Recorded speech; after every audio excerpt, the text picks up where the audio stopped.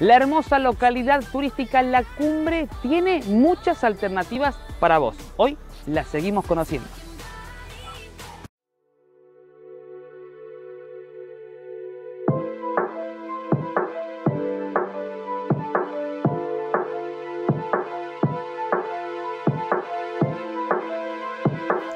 Visitamos un lugar lleno de historia en la cumbre, el Museo de Motos y Bicicletas a cargo de Lisandro Benzi que nos comentaba lo siguiente.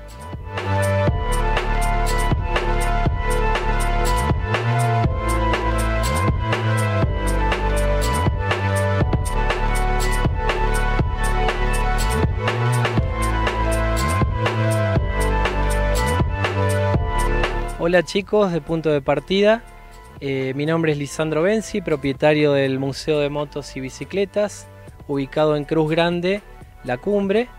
Eh, quiero invitarlos a, visitar este salón o este, esta gran colección que hace 41 años que, yo junto, piezas, no solo motos, bicicletas, como así dice el nombre, que por ahí es lo que más me, atrae.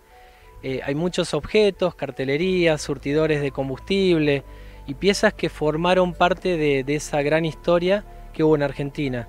Esto nos traslada a la cumbre para poder darle vida y poder continuar con esta, esta pasión y así compartirlos con todos los visitantes y turistas que anden por acá, que, donde se van a encontrar muchas piezas raras como una bicicleta de 1898, una Durkop con transmisión cardánica y desde ya, bueno, una, una estrella, el auto y el carruaje que perteneció a la primer médica que hubo en la Argentina, Cecilia Grierson, dos joyas que están prácticamente en estado de conservación. Nosotros nos manejamos, por supuesto, con un, con un tope, o sea, de, para que no haya tanta gente. Tenemos dos niveles en el museo y tratamos de distribuir para no tener inconvenientes.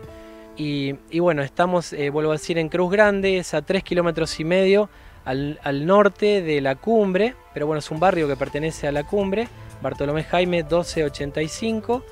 Después, bueno, nos pueden encontrar en, Facebook, en Museo de Motos, o en el Instagram, Museo de Motos y Bicicletas, donde pueden ver todos los horarios.